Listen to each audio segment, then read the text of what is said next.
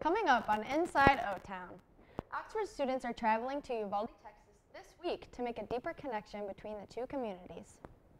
We found out what people of OHS are thankful for. All that and more coming up next.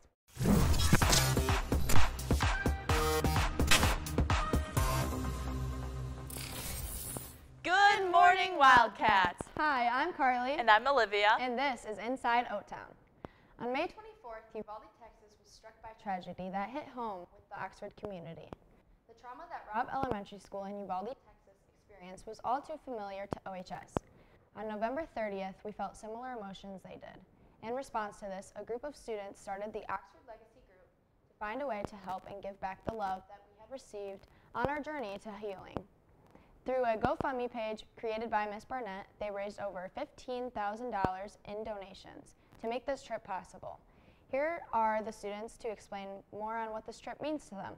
I'm Samantha Kirchler. Uh, me and my friend Lizzie actually created the idea after we figured out all that happened and we were kind of kind of didn't know what to do, kind of felt back in that same situation. I think two days after we heard about the shooting at Robb Elementary School, we came to school and everyone was a wreck, as you can imagine. Everyone was in tears and shambles, and all we could do is go around and hug each other. We went to Mr. Edwards and we asked him what we could do, what, what he thought we could do to help these kids, and he said, just enable yourselves, try and do something, try and change the community for the better. Use your pain to help them, help something. You understand how they feel more than most people can. We came up with the idea to ask other corporations um, for donations and we asked Joann Fabrics and they gave us 11 pallets of felt and fabric. We made tie blankets all summer long with the help of leadership and mentorship. I think it's very important for us to go down there and continue our legacy of being Oxford Strong and especially for those four people in mind. This is really what we're going for and to help these children with their recent trauma as well.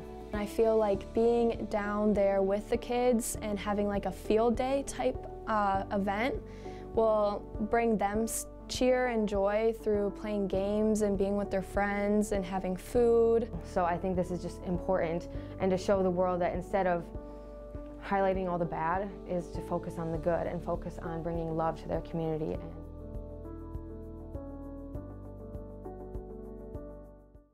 What a great way to reach out to the people in the community and the students impacted. While on the topic of giving, we have a few things that you all could help out with. Leadership in the Oakland Activities Association is hosting a coat drive for Oakland County Sheriff's Coats for Cold program. Be sure to bring in your new or gently used coats to your advisory class. Leadership and NHS are hosting the food drive tomorrow, November 18th, is the last day. Be sure to bring in your cans to your first hour. And remember, ramen is worth zero points. Cash or check donations can be given to Ms. Getz or Mr. Button, and all donations are being given to Oxford Orion Fish. You all may have seen some new faces around the school. There are lots of new staff around. Lillian Cadbury decided to speak with some of the new staff about their experience at the school so far. OHS has introduced many new staff this year. They have been welcomed into this family with smiles and positivity. Oxford is different from other schools. Senor Salsa, the new Spanish teacher, said Second year teaching, um, but my first year teaching last year um, was my first year teaching at all. Oxford isn't normally a destination people think they will end up in. The same district. Uh, didn't know it was going to be in the same building, uh, so that was a plus. Um, but uh, but for me, being in the same district as my kids uh, was always a big draw for me. Our school has constant, genuine positivity, wearing Oxford pride as a representation of our true school spirit. I just like I like the spirit here. I feel like it's genuine when you walk the halls and see people in Oxford stuff. Right. Um, I'm wearing it today. I just feel that it's it's like a, there is a genuine school spirit here um, that I feel like's always been here. Everyone experiences OHS differently. Mr. Brennan's wife was once at Oxford. So far, his experiences has been good. Oh, it's been great. I mean, it's been a challenge to to be sure. Um, it's it's there's a lot of new people I've been trying to meet, so I've been trying to get to know 1,800 kids and over 100 staff members, and that's a big big thing for me. Um, but I've been working on it and I'm getting there slowly. And otherwise, I mean, it's it's been really nice. The new staff agree that the students and the spirit at OHS are the best, but they say that one of their favorite things is. So the first time somebody told me about the wings, I went and I got them with sauce, and I was like, oh, these are pretty good, but maybe like overrated.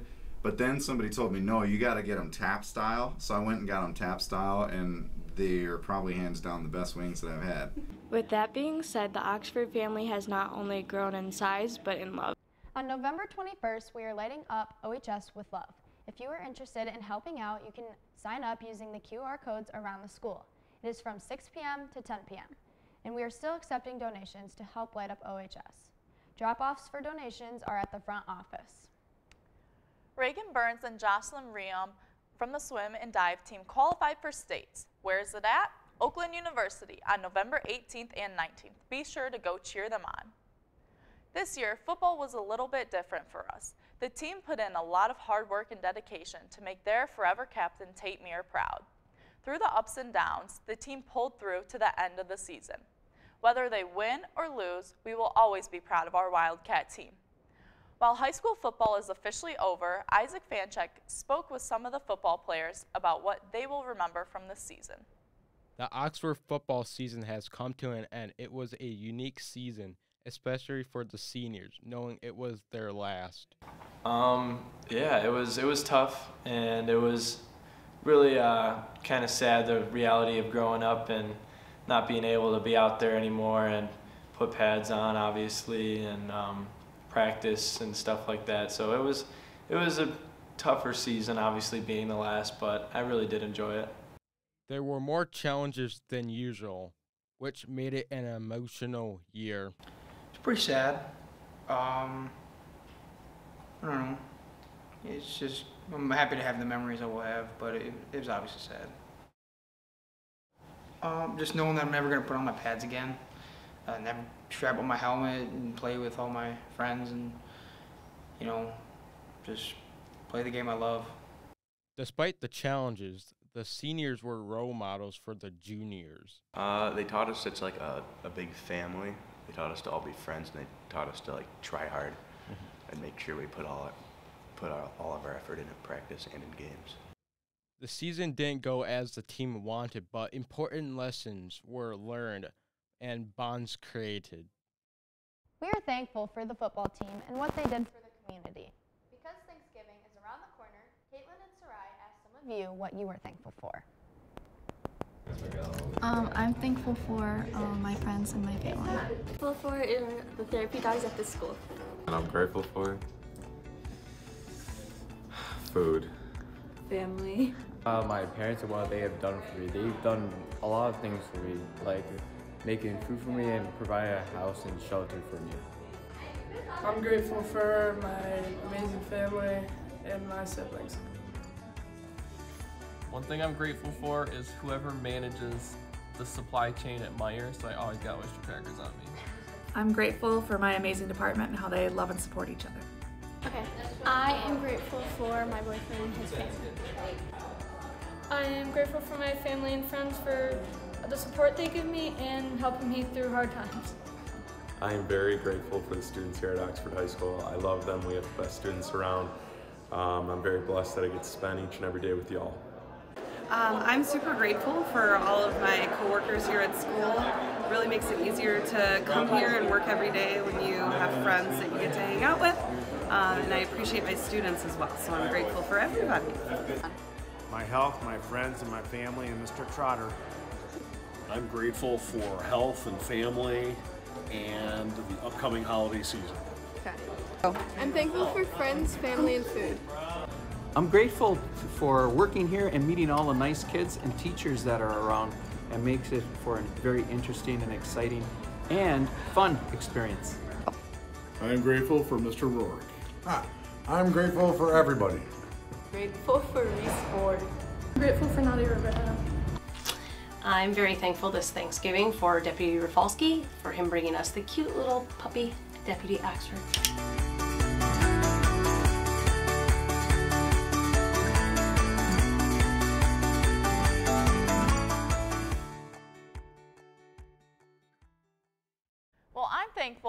Our community and my family. What are you thankful for?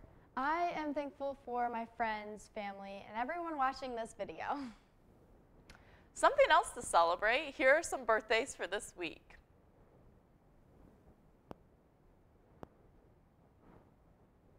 Happy birthday to you. Happy birthday to you. That's all we have for this week. Be sure to follow us on Instagram and TikTok. Be sure to send in your ideas to us at announcements at oxfordschools.org.